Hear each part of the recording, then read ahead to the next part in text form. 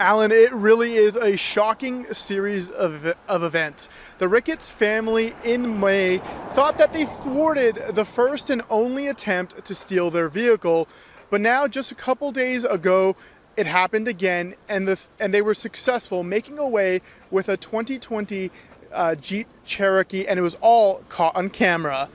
The first attempt happened in mid May when the thieves tripped the motion sensor on a ring camera security around 5:30 in the morning. This led to the family triggering the alarm from their phones and scaring away the robbers.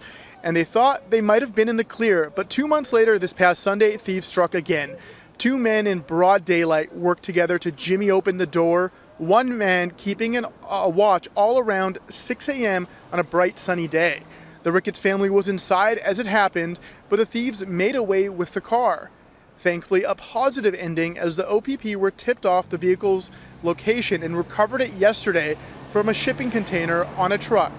The owners of the vehicle are talking about the robbery. This is targeted, right? They've, they've obviously marked this car. They wanted this particular vehicle. Um, they've come back for it twice. It's disrespectful. It's, it's scary. And it's just, you know, you have to kind of sleep with one eye open. um, 5.30 in the morning, the last thing you're thinking about is someone's in the driveway stealing your car.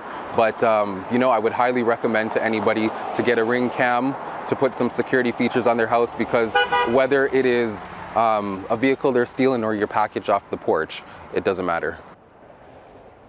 The OPP say that they're still investigating that if these thefts were part of a larger operation and where these vehicles were headed. We'll have more coming up at 6. Alan? Thank you, Omar.